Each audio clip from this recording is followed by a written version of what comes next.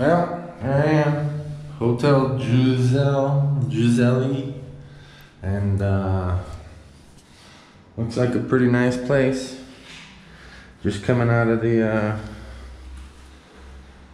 coming out of the Riptide Surf Hostel, and uh, you know, a couple nice big beds, TV. Nice kitchen, refrigerator. And the big door. Not bad. Nice, nice little spot. $44 a night. Splitting it with my friend. So, you know, we're doing pretty good. Love you guys. Thanks for coming along. Take care now.